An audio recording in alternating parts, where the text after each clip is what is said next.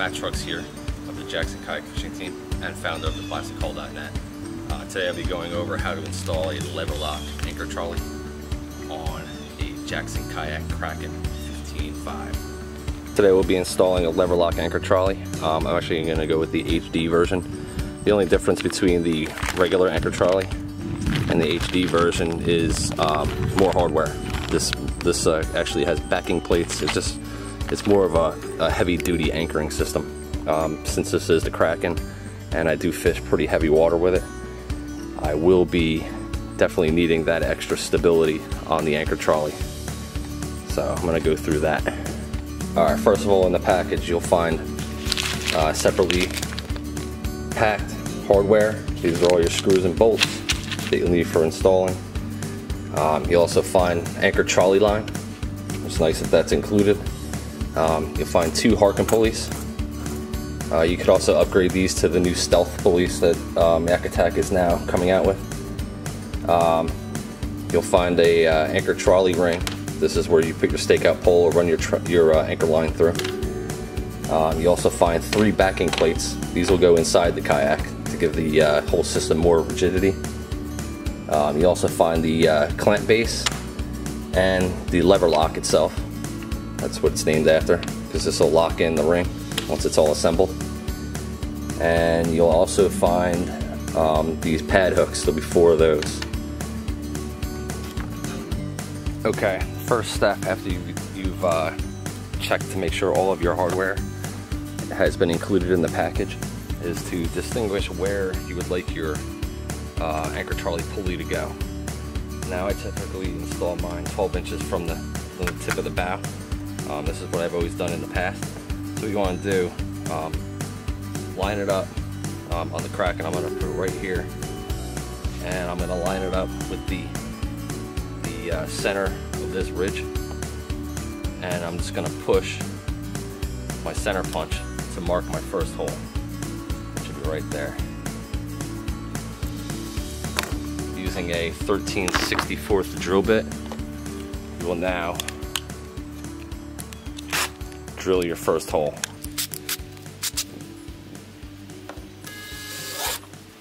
First hole is drilled. Now, with the number one hardware, these are the long black screws. I will now slide that in there. And then I will open my hatch, my bow hatch here, to expose the inside of my bow.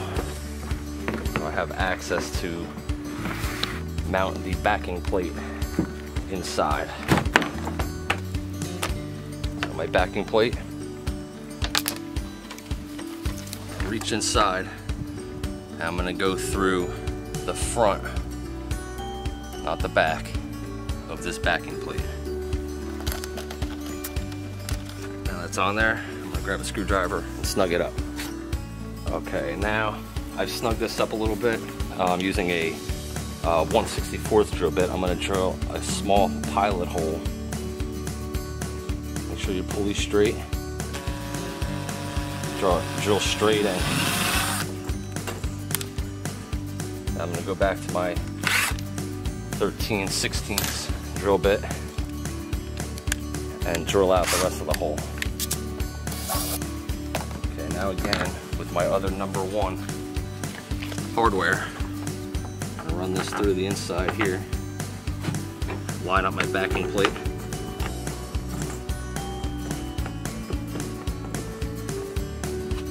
Put my screwdriver. I'm gonna snug this down.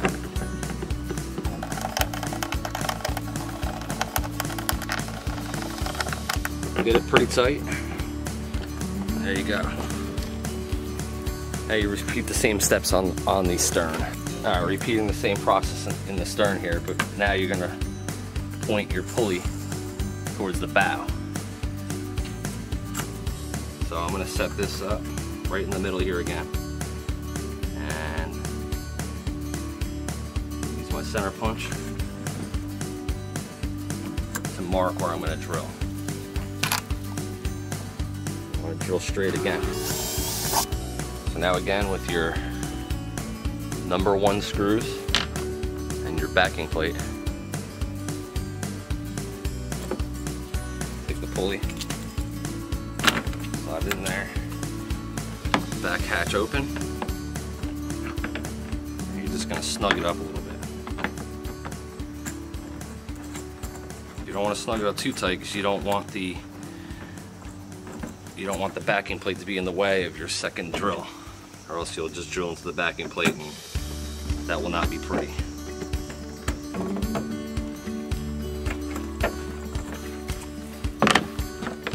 Right now it's hanging down on the inside there, so now I can line it and get it straight. I'm gonna drill another pilot hole, smaller drill bit.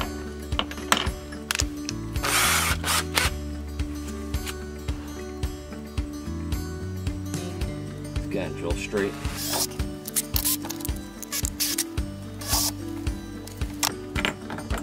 Okay, push your hardware through. Align the backing plate.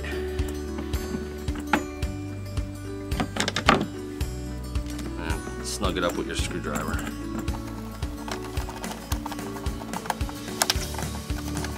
Alright. Next step. Oh, and also um, right on the uh, backing plate here, this will focus into it. You'll see that two holes are dedicated for the pulley and two, two holes for the clamp base. Now you want to use the pulley holes for the pulley install. Okay, now one end of the line, you're going to run through your trolley ring.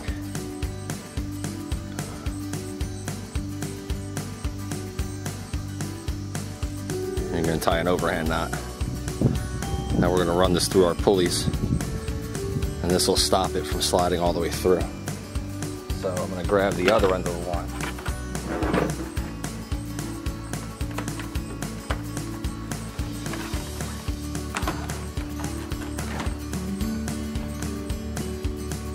And I'm going to run it through the bottom of the pulley. And run it all the way back.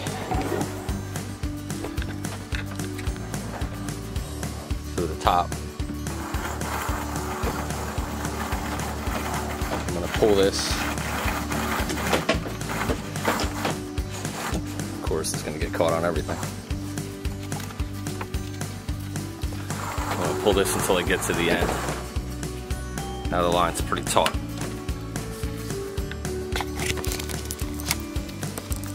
As you can see, the line has ended. The line has ended here at the bow. And then I'm gonna run this through the other side.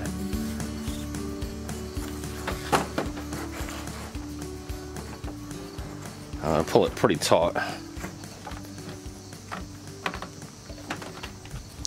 Now as you can see here, the, um, the line is actually going on top of the deck. But that's okay because that's what we have the uh, the, the pad eyes for and that'll secure it so it runs along the side. Alright, so once again with the LeverLoc, you're to want this out of your paddle sweep way. So I'm to do the same as I did before. I'm to mark a spot. Then with my 1 8 inch drill bit, I'm to drill my first pilot hole. Alright, for assembling the clamp base, I'm going to use the number 10 screws, which are not pictured, but they are the longer silver screws. They're, they're sort of self-tapping. Um, the size is actually 10-32 by 5 8 inch, as Phillips head. Screwdriver, a LeverLoc. Going to screw in the first side.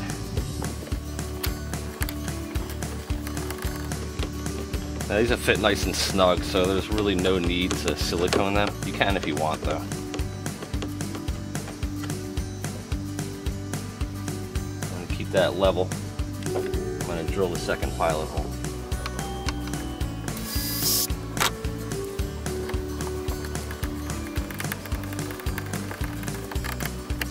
Prior to tightening this down, you're gonna wanna run the top side of your line.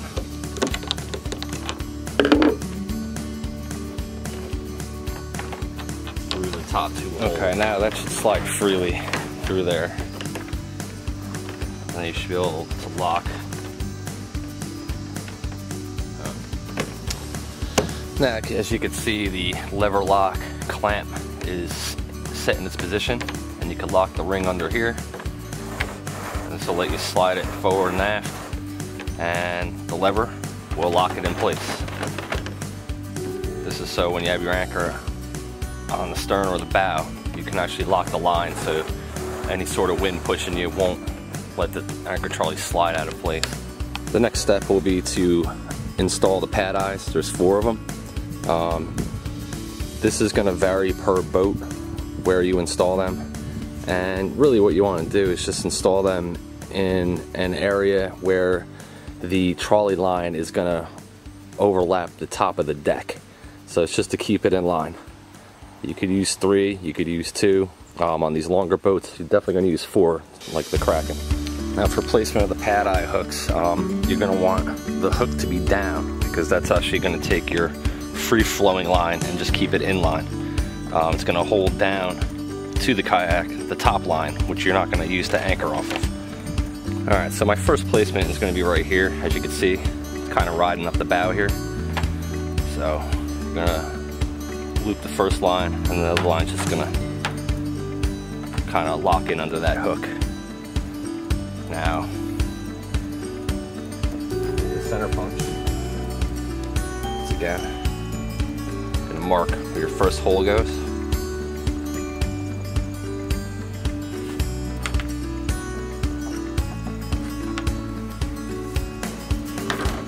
And 1 8 inch drill bit.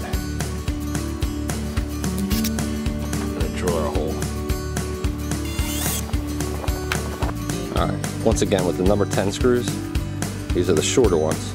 We're going to use these to uh, install our, our pad hook. Take our pad hook and our screw. The line underneath. One there, and then the second one's gonna go directly below that. You wanna make sure this line is underneath this screw. Snug it down. Make sure the top line is free from underneath the uh, clip and running through the hole here. There you go. That should slide freely. And now I'm going to repeat the same step on the stern here. Looks like it's riding up right here. This is kind of where the curvature of the boat starts curving back right around here. So this is a good spot for it right here. Again, take our center punch.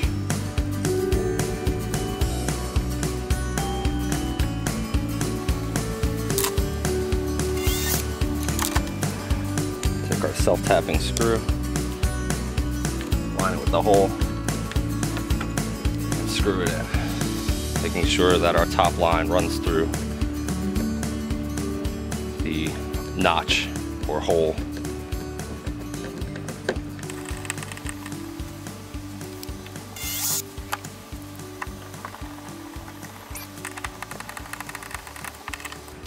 Once Again, that should all slide freely. And repeat the same steps for the other two hooks, and then we'll tie it off.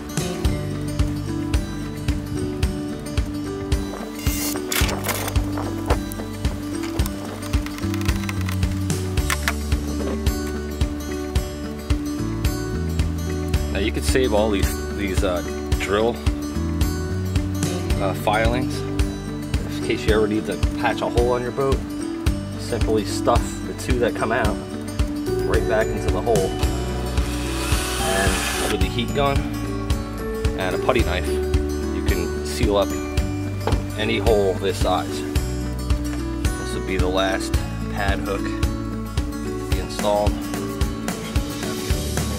Try to center between the uh, LeverLoc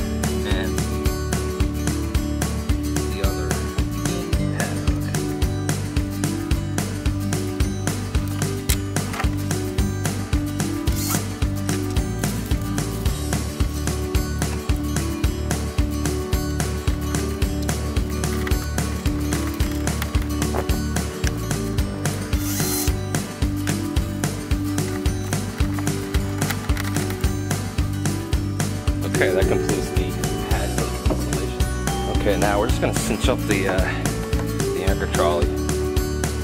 Be pretty taut. Um, now what I typically do is I'll, I'll put half hitches in here, and the reason being why, because this will allow you down the road to be able to adjust it, which is pretty much really, really good idea.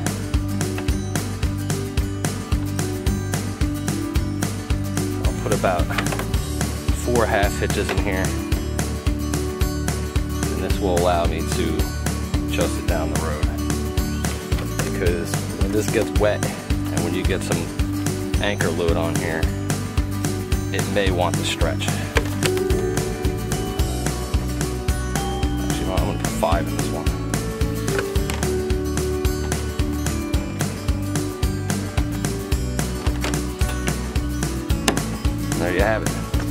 Lever lock anchor trolley installed on the Jackson Kayak Kraken.